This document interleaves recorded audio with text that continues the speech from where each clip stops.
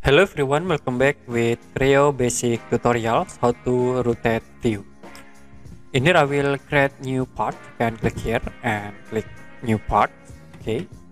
Now if you want to rotate view in Creo, you can press middle mouse, hold.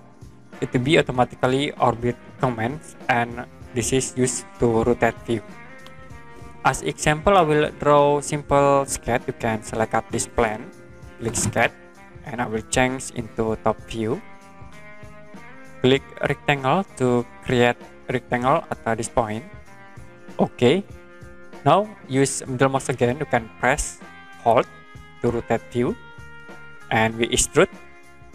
Click ok.